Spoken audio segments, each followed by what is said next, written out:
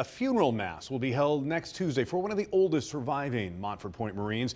This is Cosmas England, Cosmas Eaglin. He passed away on August 15th at the age of 108. According to the Department of Military and Veterans Affairs, Eaglin joined the Marine Corps when he was 27.